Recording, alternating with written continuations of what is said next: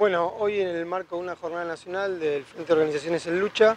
eh, ayer se terminó digamos, el acuerdo, el congelamiento de precios digamos, de los combustibles eh, y hoy, a primeras horas ya había un aumento, igual cabe aclarar que el mes pasado también hubo aumento de combustibles, entonces lo que nosotros estamos reclamándole al gobierno nacional de Mauricio Macri, que, que, que pare las políticas de ajuste, que estas son políticas de ajuste a los sectores más populares, a la clase trabajadora,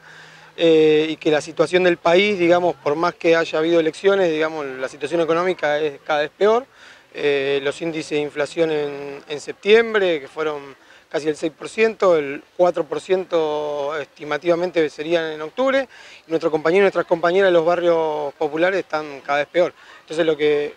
entendemos que estos precios se van a trasladar al colectivo, que ya está homologado, que va a haber un aumento, solamente falta decretarlo, digamos, cuando lo hacen,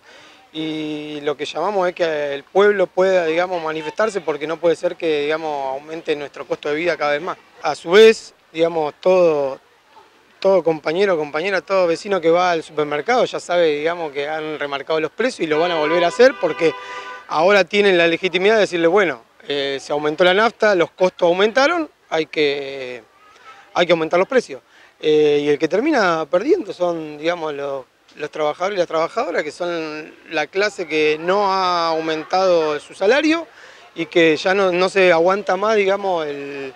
nivel, digamos, de, aumento que hay. Si uno empieza a mirar los supermercados recién, digamos, empezaron a poner los precios ya, digamos, en las canastas navideñas. Bueno, para nuestra compañera eso es imposible.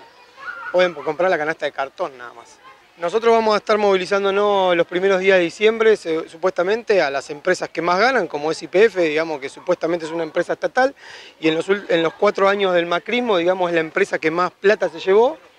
Eh, y lo que nosotros decimos es, si es una empresa estatal, ¿dónde está esa inversión? ¿No? O sea, ¿dónde está volcada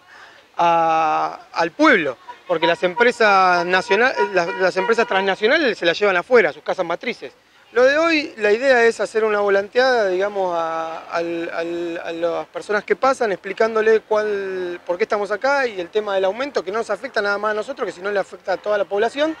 y tratar de entrevistarnos con, funcionarios, gerentes, digamos, de la empresa para poderle explicar por qué estamos acá y que esto también sirva a nivel nacional para ver el reclamo. Además tenemos un reclamo particular que tiene que ver con el tema del gas, que nosotros tenemos un convenio a nivel nacional con, IPF desde hace mucho tiempo que no viene cumpliendo y sobre todo no viene cumpliendo en esta era, en la era del macrismo,